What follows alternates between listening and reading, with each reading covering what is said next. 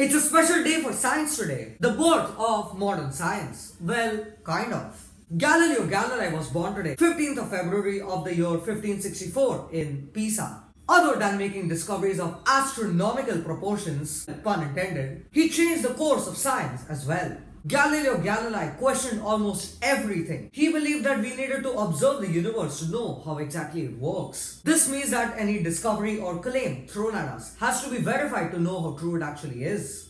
Before his time, wild claims used to be made. And if questioned the workings of it, you could just say that it's the mysterious workings of a creator. If my profile was high enough and if I tried convincing you enough, without conclusive proof, I could say wild things from a geocentric solar system or an earth system to the universe being run by wild dogs. Believe it or not, science earlier used to run without experiments. Galileo, by the way, was not the first person to conduct an experiment.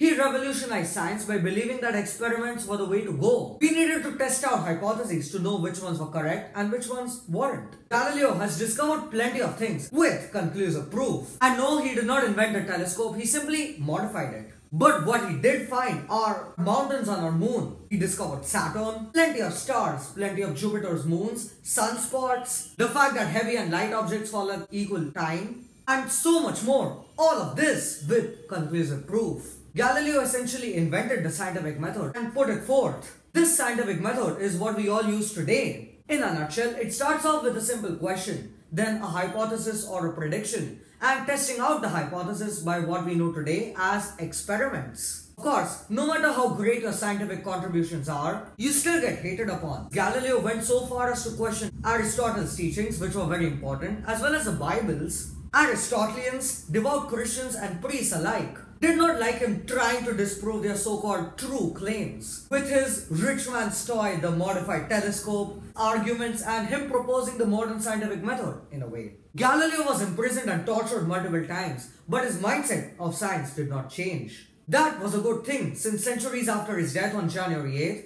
coincidentally Stephen Hawking's birthday, scientists found out that his claims were actually true. Because they had conclusive proof, of course. It isn't a bad thing to question what has been taught to us over generations, to ponder upon the workings of the universe, and to try something new and open your mind.